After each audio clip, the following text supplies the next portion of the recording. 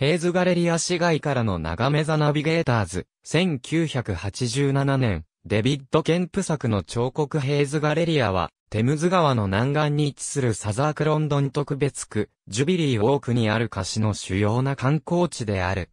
もともとは倉庫であり、ポート・オブ・ロンドンの関連施設ワーフであったが、観光用施設として1980年に改築された。ヘイズガレリアはその元々のオーナーである商人、アレクサンダー・ヘイ氏の名前にちなんで名付けられた。1651年、市が同資産を手に入れた当時は醸造所だった。1840年頃ジョン・ハンフリー・ジュニアが建物を新借。彼は、ウィリアム・クビットに建物を、ウォーフに建て替えるように依頼し、1856年、同建物は、ヘイズ・ウォーフと改名された。19世紀の間、同、ウォーフは、プール・オブ・ロンドンにおける、貿易船の主要な茶の積み下ろし場所であった。ロンドンに輸入される乾物の実に80%が、このウォーフからであったことから、ウォーフは、ラーダー・オブ・ロンドンと呼ばれた。1861年6月のグレート・ファイア・オブ・サザックと呼ばれる大火事の後、ウォーフは大幅に建て替えられ、第二次世界大戦中の1940年9月に爆撃され、大きな被害を受けるまで、一世紀近く利用された。小取引は、第二次世界大戦後、大幅に減少し、周辺のエリアもだんだんと、経済的に錆びれていった。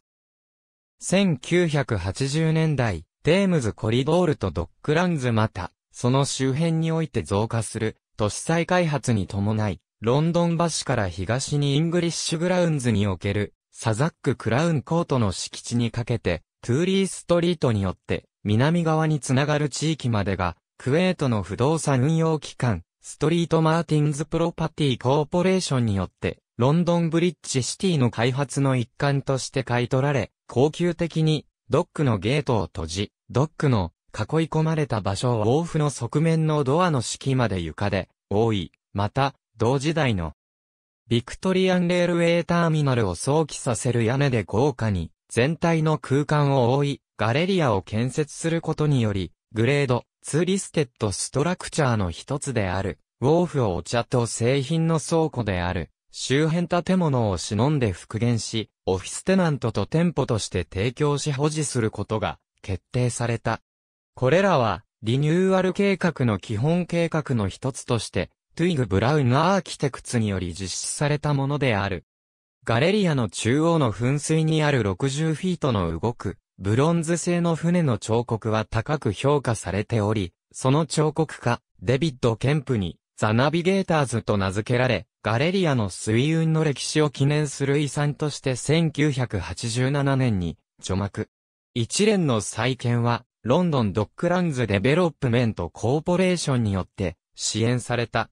1987の竣工とオープン後、ヘーズガレリアは同時期の南岸における最初の新しい観光スポットとなった。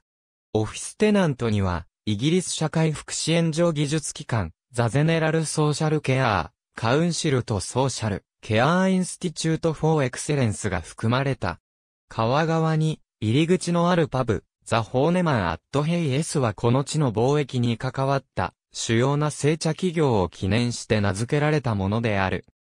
テームズパスの南側という立地で、シティオブロンドンを歌詞から望むパノラマ、そしてロンドンシティホールとサザックカケドラルの間に位置することもあり、ヘーズガレリアは多くの旅行者や市民が訪れる大通りとして親しまれている。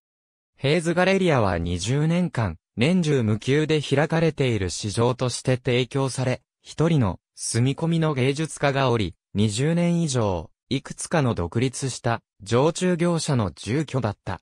また、ストリート、マーティンスプロパティコーポレーションの長期契約のテナントとして、ガレリアの何箇所かに固定された伝統的な二輪の手押し車から観光客向けの医療製品や宝石などのお土産を販売していた。